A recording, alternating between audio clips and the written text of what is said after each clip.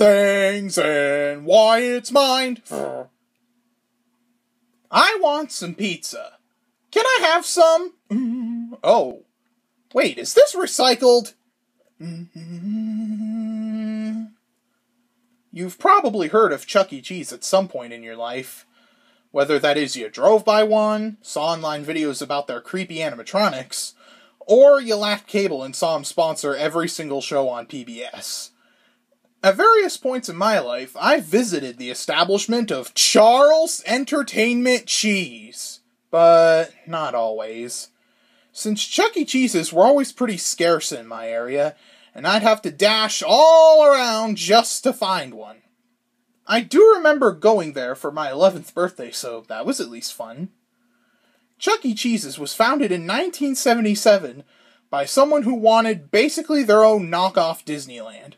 The whole idea was for this pizzeria to be a birthday party utopia, complete with arcade games and animatronics singing to you. The original Chuck E. Cheese was much more rough and tough than his later incarnations, and was more show business inspired. The shirts from his grand opening even said, Bite me. But as time went on, Chuck changed.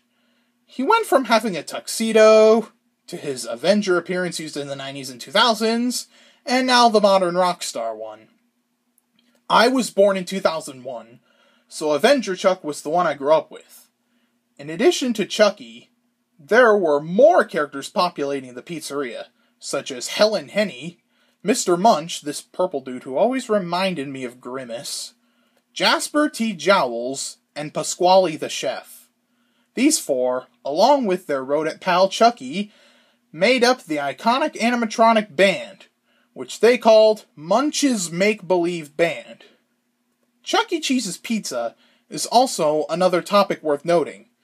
Some people are convinced that Chucky is actually recycling the pizza. They describe it as tasting stale and kinda nasty. However, it has been years since I was at a Chuck E. Cheese's, so I wouldn't know.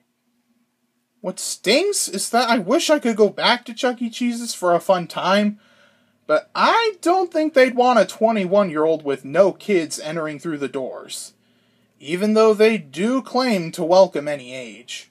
Every time I mention this to someone, they always remind me about the existence of Dave and Buster's, which I do like, don't get me wrong, but it's also a bar. All in all, Chuck's got quite a fun place for any child. Anyway, let's see what comes into my mind next time, and I'm Wyatt Olinger, signing off. Things in Wyatt's mind! Ow.